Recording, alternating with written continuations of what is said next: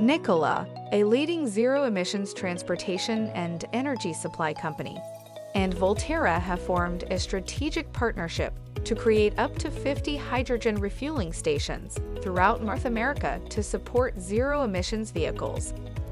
Nikola will provide the hydrogen fuel and technical expertise, while Voltera will site, build, own, and operate the stations.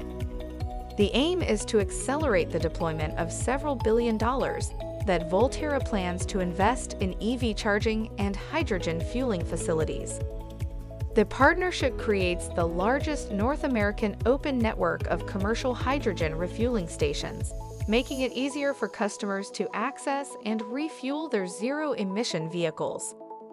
Nikola President Carey Mendes stated, Voltera's expertise in building out zero emission energy infrastructure will be a key enabler for Nikola's first to market hydrogen fuel cell electric trucks and fueling infrastructure. Matt Horton, CEO of Voltera, added Voltera's mission is to accelerate the adoption of zero emission vehicles by taking on the complex and costly nature of developing the necessary infrastructure. As a designer and manufacturer of zero-emission battery electric and hydrogen electric vehicles, Nikola is driven to revolutionize the transport industry.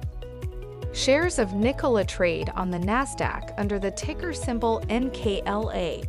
For more information, visit greenstocknews.com.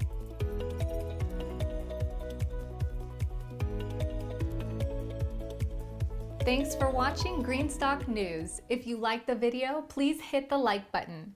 If you want to see daily Green Stock News videos, hit the subscribe button. And if you have something to say, please leave a comment.